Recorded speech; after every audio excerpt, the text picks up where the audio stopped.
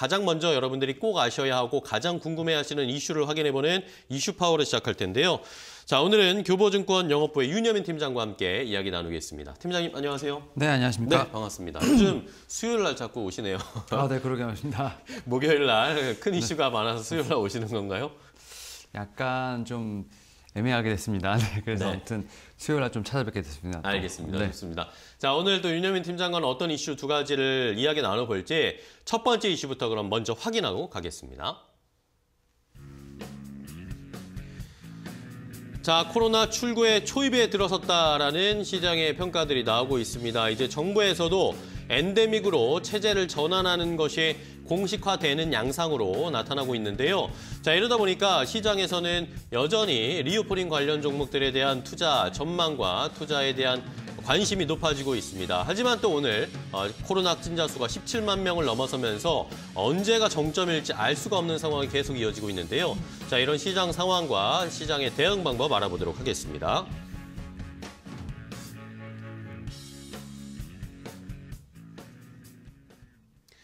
자, 첫 번째 이야기는 역시 뭐 코로나 이야기입니다. 우크라이나 전쟁도 전쟁이지만 또 우리나라 국내에서는 또 이슈가 되고 있는 것이 어, 조금 전에 나왔지만 코로나 확진자 수가 계속해서 기하급수적으로 늘어나고 있습니다. 자, 그런데 이런 상황을 또 긍정적으로 시장에서는 평가를 하고 있는 것 같아요. 어쨌든 정점을 찍고 나야 리오프닝 되고 시장에 좀 뭔가 변화가 나타나지 않을까 그런 예상들도 하고 있는 것 같아요.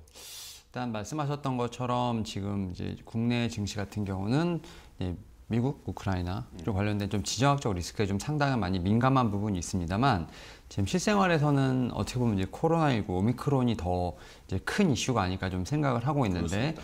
사실 이제 대선 주자들도 지금 이제 이런 정책들을 좀 많이 쏟아내고 있지 않습니까? 이제 코로나19로 좀 피해를 입은 이제 자영업자분들, 그다음에 이제 소상공인분들에게 좀 어떻게 보면 지원금을 지금 지원하기 위한 여러 가지 지금 이제 대, 대책들을 좀 내놓고 있는 상황인데 사실 이제 앵커님께서 말씀하셨던 것처럼 이제 거의 이제 풍토병으로 풍토병으로 이제 갈 수 있는 어떤 초입 단계로 지금 들어선 모습을 좀 보여주고 있는데 어 사실은 그 이제 일일 감염자, 아, 일일 확진자 수라고 할수 있죠. 어, 지금 늘어나는 속도가 정말 빠른 것 같습니다. 네, 주변에도 지금 확진되신 분들이 굉장히 많이 늘어나고 있어요. 예, 제 주변에도 이제 뭐 한 가정 걸러 계속 이제 걸릴 정도로 근데 이제 대부분 증상은 없고 그냥 이제 격리도 그냥 치료하고 그냥 바로 나오는 이제 그런 약간 현상이 좀 나오고 있는데 지금 말씀하셨던 것처럼 이제 아무래도 이제 방역 체계 이제 관련돼서 지금 이제 종합관리 방역 당국에서는 좀 여러 가지 좀 얘기를 하고 있습니다만 일단은 좀 유행이 좀 정점이 지난 후에 지금 사회적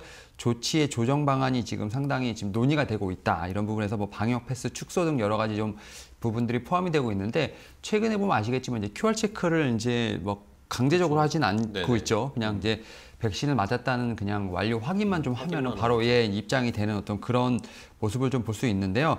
그런 부분을 통해서 결국은 이제 중장기적으로 봤을 때 우리나라도 지금 우리 지금 영국 같은 경우는 아예 이제 일상으로 돌아가는 모습을 좀 나오고 있는 부분이 있기 때문에 우리나라도 이제는 좀 이제 일상으로 회복이 좀 빨리 올 수 있지 않을까 좀 생각을 하고 있는데 다만 이제 일상 회복에 대한 시점은 좀 아직까지는 좀 논의하기 좀 힘들지 않을까 좀 생각을 하고 있는 게 일단은 오미크론 관련된 치명률은 분명히 좀 낮아지고 있는 건 사실입니다. 근데 다만 이제 60세 이상의 고, 60상 60세 이상의 고령층이라든지 이제 미접종자 같은 이제 두 인구 집단 같은 경우에는 여전히 좀 위험성 있는 것은 좀 확실하다 말씀드릴 수 있을 것 같고 특히 미접종자 같은 경우는 10, 10, 어, 12세 이하는 뭐 6세 6% 6% 죄송해요 죄송합니다 네. 18세 이상은 지금 4%에 불과한 부분은 있습니다만 지난 8주간 발생한 중환자의 전체 62% 사망자 65%가 지금 미접종자라고 할 수 있기 때문에 미접종자에겐 여전히 오미크론 같은 경우는 치명적인 좀 질병이라고 볼 수 있을 것 같습니다. 네. 이에 따라서 이러, 이들의 어떤 감염의 어떤 전파 경로를 좀 확실히 좀 차단을 하는 부분들. 그다음에 이제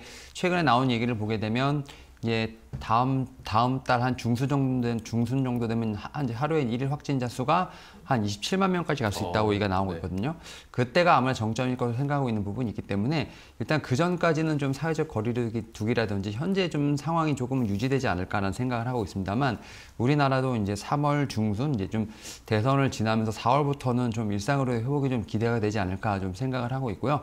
그러한 부분들을 통해서 최근에 또 다시 좀 뉴스가 나오고 있는 게뭐 이제 해외 여행 이라든지 여행에 대한 어떤 그런 예약률이 좀 많이 올라가는 듯한 어떤 그런 모습을 보면서 좀 이제 코로나19로 좀 많이 눌렸던 리오프닝 관련된 종목들의 어떤 수급이 최근에 많이 들어오고 있습니다. 뭐 대표적으로 이제 화장품 섹터들이 지금 최근에 좀 움직임이 좀 있었고요. 그 다음에 이제 관련돼서 이제 항공, 여행, 뭐 카지노 같은 섹터들의 좀 움직임이 있는 부분이 있기 때문에 이런 좀 섹터들에 대한 움직임을 한번 눈여겨보시는 게 어떨까 말씀을 드려보도록 하겠습니다.